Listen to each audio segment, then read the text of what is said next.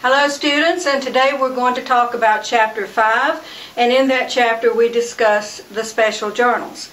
Um, we've been using in the past, we've been using the general journal, so don't forget the general journal because we will continue to use it, but we won't uh, use it quite as much as we have in the past. Um, the chapter 5 is kind of a standalone chapter. Um, the author set it up that way so the instructors could either teach it or not depending on whether they choose to. Uh, so once you get to chapter 6, you will continue with the general journal and general journal type entries as you have in previous chapters, and this is the only place that you will see the special journals. I do th think it's important to teach it though so that you understand what the special journals are, um, and you might see them later on uh, when you're actually recording or reviewing accounting records. Okay? Um, there are four special journals. We have the cash receipts journal, cash payments journal, revenue journal, and purchases journal. And of course we always have the general journal as I said before. Now the purpose of these special journals is to put like transactions in one place. And uh, if you're doing a manual posting system or a manual system, it does cut down on the manual posting because you will be posting from totals instead of individual amounts.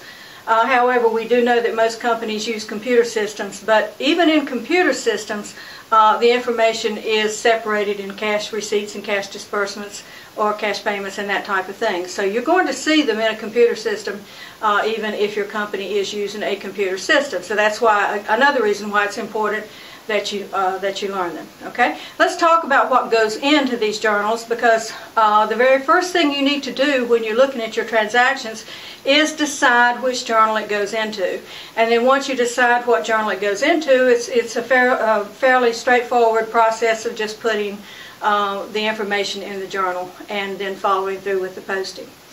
Um, okay, in your cash receipts journal, you're going to have all cash that's coming in. That could be cash sales or cash um, revenue uh, of some type. Uh, it could be uh, payment on account. It could be uh, interest on a loan. Any interest that's coming in uh, would go into cash receipts. Okay? Any cash that's going out would go in cash payments. So if you see the word paid in the transaction, it would go in cash payments. If you see cash received, it would go in cash receipts. Okay? Then we get down to the revenue journal. Now the revenue journal um, has your revenue in it except it only has revenue on account. So it would be revenue where you are going to debit accounts receivable and credit some type of revenue account. That's the only type of revenue that goes through the revenue journal. If it is cash revenue, it goes through the cash receipts journal. The purchases journal also the only purchases that go through here are purchases on account where you would generate uh, a credit to accounts payable. Okay, so uh, your purchases journal only has um, transactions or purchases that are on account or accounts payable, and that's a, a good way to remember it. Um, your revenue journal, you're going to only have um, revenue that goes into accounts receivable. Uh, purchases journal, you're only going to have purchases that goes into accounts payable any cash revenue, any cash goes through cash receipts, any cash received, any cash paid goes through cash payments.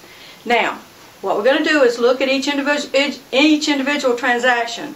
And if the transaction will fit into one of these special journals, that's where you're supposed to put it. Everything else will go into the general journal. Now, one um, error that students make uh, with special journals is that they will try to put them in uh, the special journals and then they'll try also to put them in the general journal. You don't do that. If the transaction goes in a special journal, it does not go in the general journal. But if it does not go in a special journal, then yes, you need to put it in the general journal. An example of an entry that would go in the general journal would be the adjusting entries or the closing entries because they're not associated with any of these uh, activities. Um, so you just have to kind of analyze the transaction, look at what you have, and decide what journal to put it in, then put it in the journal. And you do have some uh, exercises and problems that will help you work through that. But if you have any questions on this, let me know. Thanks.